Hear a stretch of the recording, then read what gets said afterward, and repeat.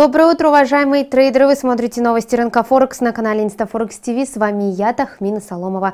В среду свое падение в парах с иностранными валютами отметил рубль.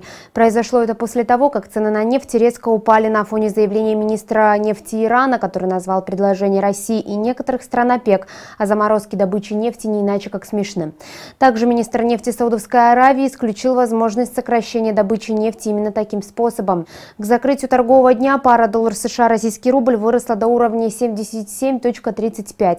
Однако настроение нефтетрейдеров омрачилось еще до высказываний э, министров, что и повлекло российскую валюту занимать минимальные позиции против своих конкурентов. Проблема с переизбытком нефти на рынке пока что нерешаема, поэтому аналитики прогнозируют дальнейшее падение черного золота.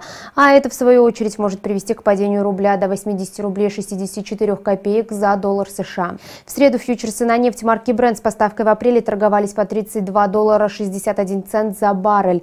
Апрельский контракт на сланцевую нефть упал до 30 долларов 91 цента за баррель. Стоит отметить, что на протяжении всего торгового дня нефтяные котировки пытались удержаться на занимаемых позициях. Это и заметили некоторые экономические эксперты, которые стали прогнозировать сохранение цен на нефть около текущих уровнях, что позволит рублю не обесцениться в дальнейшем. Также российской валюте может помочь положительное сальдо текущего счета и по-прежнему жесткая монетарная политика. Ну а как все сложится, покажет время и канал канал Инстафорекс ТВ. До встречи!